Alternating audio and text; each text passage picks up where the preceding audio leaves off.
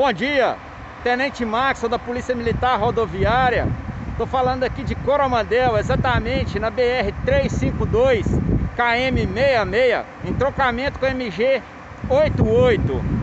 Aqui mais cedo, por volta das 6 horas da manhã, a Polícia Militar foi acionada e foi informada de que lá naquele local lá embaixo, onde os senhores podem ver, uma carreta carregada com diesel e também com etanol tombou.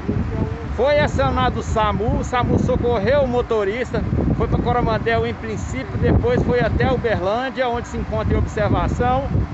E a, o corpo de bombeiro e os órgãos ambientais responsáveis também foram acionados.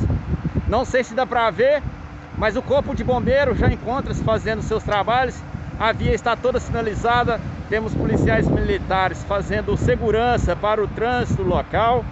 É, a via encontra-se interditada parcialmente, mas o trânsito encontra-se tranquilo.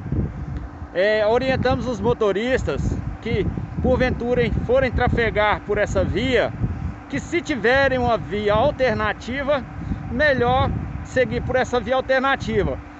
Caso contrário, segunda opção, aguardar um pouco, haja vista que o trânsito será normalizado é, é, a partir de algumas horas, creio eu. Deve demorar um pouco ainda.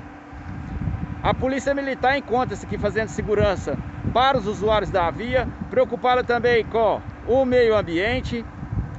Uma empresa responsável pela carga também já foi acionada e está deslocando para o local para que, assim que os órgãos ambientais competentes e o corpo de bombeiro liberarem para fazer o transbordo, esse será feito com a maior segurança possível.